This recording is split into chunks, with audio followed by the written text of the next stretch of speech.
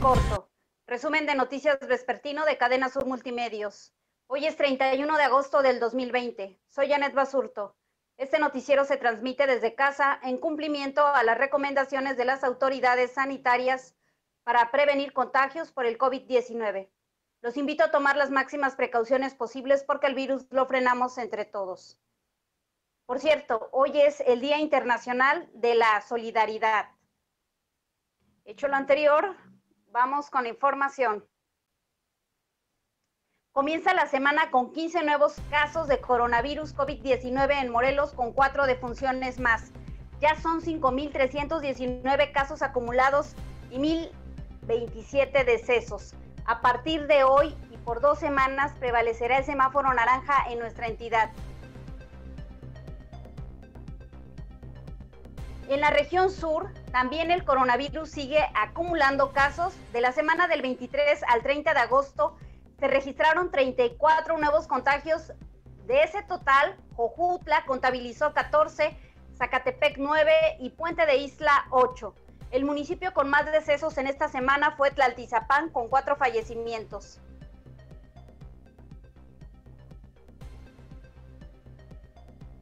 Y a nuestra redacción, llegaron denuncias de que ya hay bares abiertos en Cojutla y Zacatepec, cuando el semáforo naranja no lo permite. Pidieron a las autoridades revisar esta situación.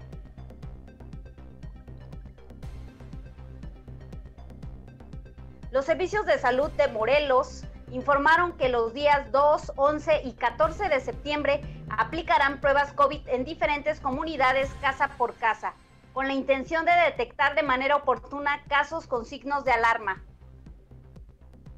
Esta semana visitarán las localidades de Emiliano Zapata en Ayala, Eterna Primavera en Temisco y El Estudiante en Puente de Isla. Cada brigada está debidamente acreditada.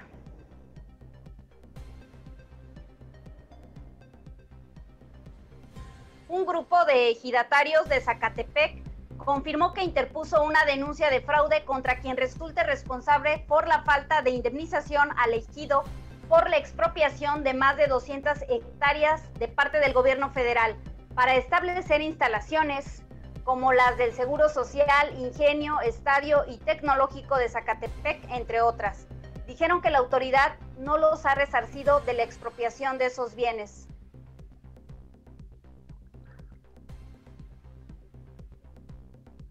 Un nuevo socavón apareció en Jojutla, entre las calles Hidalgo y Vasco de Quiroga, por lo que las autoridades cerraron hoy el paso por esa calle que entronca al Boulevard Lázaro Cárdenas. Funcionarios han reconocido que tras el sismo del 2017 es normal encontrar ese tipo de imperfecciones en muchos drenajes de la ciudad y se carece de recursos para repararlas.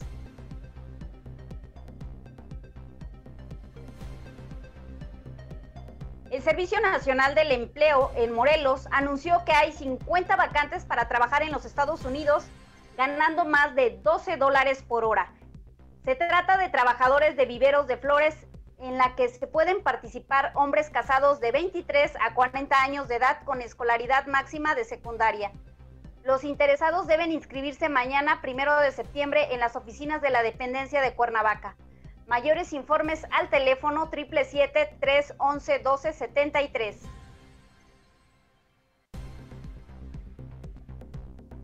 El Instituto de Educación Básica del Estado de Morelos dio a conocer que a partir de este martes dará inicio la primera etapa de distribución de materiales bibliográficos en los planteles de educación primaria de la entidad. Del primero al 4 de septiembre se repartirán desde la Regional Oriente del Estado, el 4 y 5 de septiembre desde la Regional de Alpuyeca y Jojutla, y el 7 y 10 en la de Temisco.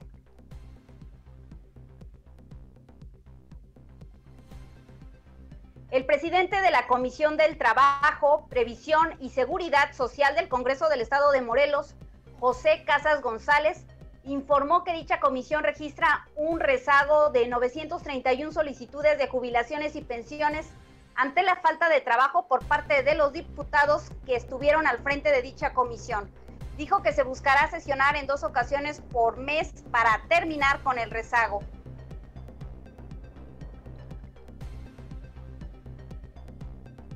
Sin incidentes, este domingo, la Universidad Autónoma del Estado de Morelos, UAM, aplicó el examen de admisión al nivel medio superior a 4.160 aspirantes.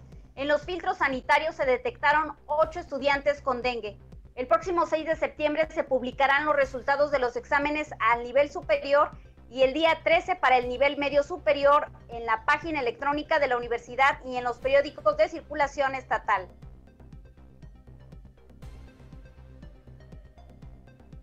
Cinco estudiantes de la Escuela de Estudios Superiores de Jojutla de la Universidad Autónoma del Estado de Morelos obtuvieron el primer lugar en el concurso de emprendedores de la región centro-sur del país con el proyecto de un plato biodegradable y compostable que no contamina.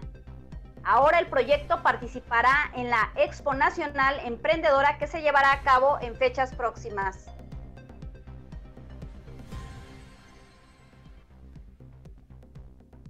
Magistrados del Tribunal Superior de Justicia del Estado de Morelos confirmaron la negativa de la suspensión condicional a una ex empleada del Congreso de Morelos llamada Margis N., imputada por el presunto delito de fraude procesal para obtener una pensión de forma irregular, por lo que la Fiscalía Anticorrupción podrá continuar el proceso que se sigue en su contra. Por este caso también fue imputado Sergio N., exdirector de Recursos Humanos del Ayuntamiento de Puente de Isla, por haber expedido una constancia laboral falsa a favor de la ex empleada.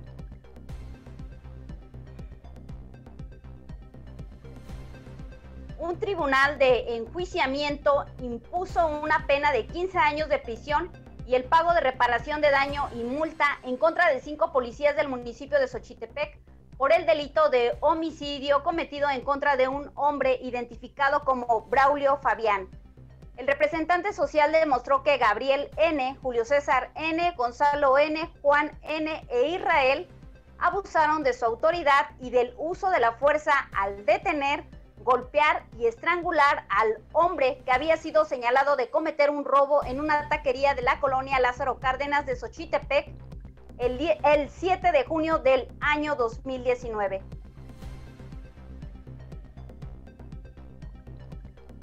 La Fiscalía Región Sur informó de la detención de Omar, de 20 años de edad, la tarde del domingo en Jojutla por el delito de posesión de vehículo de procedencia ilícita.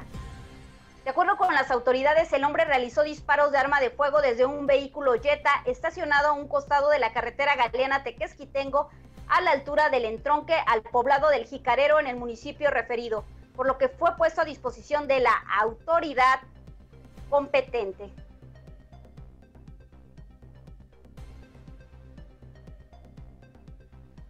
Antes de despedirnos, lo invitamos a que se quede con nosotros en la siguiente programación de Carpe Diem en su nueva temporada de contingencia con Abel Guadarrama. El tema de, esta noche es cómo decirles a nuestros hijos que nos vamos a divorciar. Psicóloga Rosa María Valerio Torres, hoy en Carpe Diem.